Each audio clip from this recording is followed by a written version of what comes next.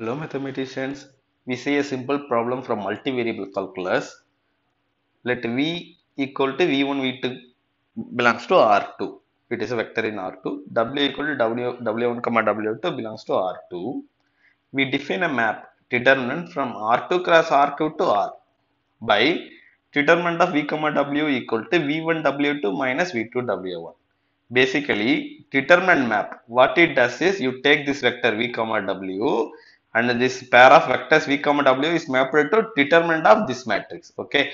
So this vector v is written as a first row and w is written as a second row. Then you calculate the determinant of this matrix okay? This is this matrix. This is the function. We want to find the derivative of this map. Basically that is a problem okay? So in the multivariable calculus the very first result is like uh, uh, they will there is a formula to calculate the derivative. So if you know the formula to calculate the derivative, then you are done. In the previous year CSIR problems, you can see at least five, six these kind of problems like uh, calculating the derivative of the multivariable functions. Why it is a multivariable function? Because uh, determinant has two variables v and w and v itself has two variables, w itself has two variables. Okay, so determinant is a function on four variables Therefore, we call it a multivariable functions. Okay, what is the definition of uh, how to calculate the derivative of the determinant map? That let me explain below. Okay, so let's we take a v equal to v1, v2, w equal to w1, w2. So that map determinant given in the problem, we take it to be f so that every time we don't need to write it determinant. Okay, so by definition, f of v1, v2, w1, w2 equal to v1, w2 minus w1, w2. This is given in the problem. So to calculate the derivative, first derivative of f, first we calculate the partial derivatives. So f as a, has a four variables. So we calculate the partial derivatives. So dou f by dou, dou v1 will be w2. Dou f by v2 will be minus w1 dou f by uh, dou w1 will be minus v2 dou f by w2 will be v1 okay now we have calculated all the all possible first order partial derivatives.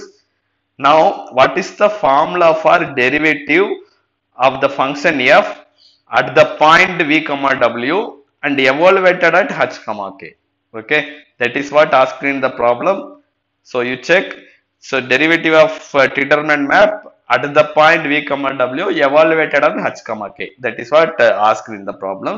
So again h and k are points in r2 so we take h equal to h1 comma h2 k equal to k1 comma k2 then the formula for derivative at the point u comma v comma w evaluated hk is given by this is an inner product. Okay this is called uh, Frobenius inner product on matrices so this is the inner product of two matrices. This is a matrix and this is a matrix and you want to calculate the inner product of these two matrices okay?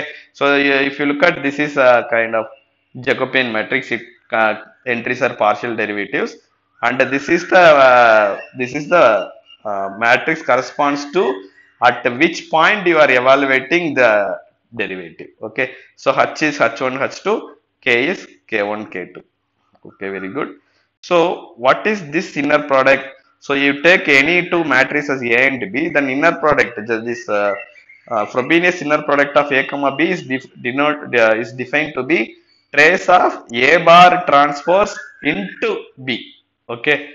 Okay. So first you calculate A bar transpose, then you multiply this matrix with the matrix B. So you will get a one matrix. For that matrix, you have to calculate a trace. That is how this inner product is defined. Okay. So now we have already calculated all these uh, partial first order partial derivatives and uh, h comma k is anyway arbitrary. So you uh, these things are going to remain variables only. So let's calculate this inner product now. Okay, so we have to calculate a bar transpose, but we are working over R2. So this conjugation is complex conjugation for real numbers conjugated itself. So we, we don't need to worry about this bar. Only we have to take transpose. So we change this matrix to its transpose. So basically dou f by dou v2 will come here, is here. And dou f by dou w1 we change it here times this matrix okay? So trace of this is a bar transpose this is b okay? Now i have substituted value of the partial derivatives that we have already calculated here. And this is the same matrix here this this is same matrix now i want to first multiply this matrix then i want to calculate the trace okay now to multiply these two matrix I'm going to calculate anyway just a trace. So I just calculate only the diagonal entries. I don't care about these two entries because they are not going to contribute to trace. Okay. So this entry is this row into this row. This will give me W into H1 plus minus W1 into H2.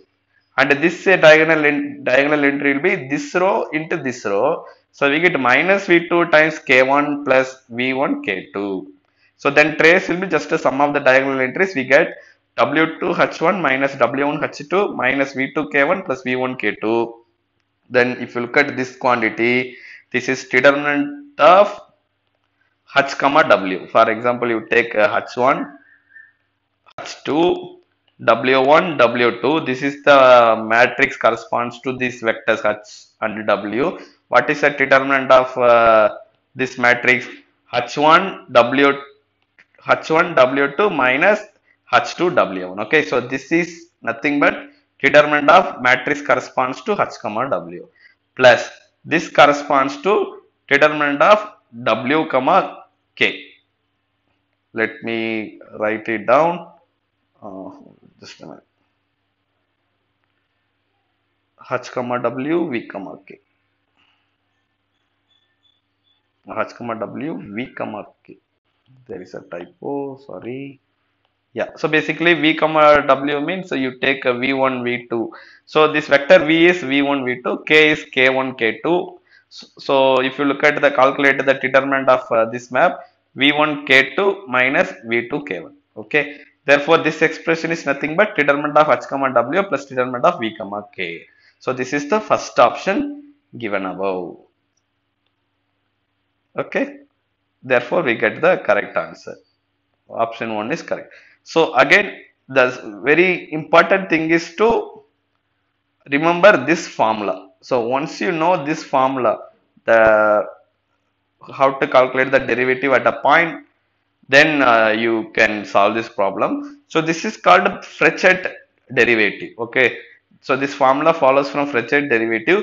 I have please check. I have added the Wikipedia Wikipedia page on Frechet definition please check the Wikipedia page where they say many more results about the derivatives of multivariable functions. It will be useful in uh, solving other similar problems also. Okay guys, so I hope you understand. So if you like this video, please like the video.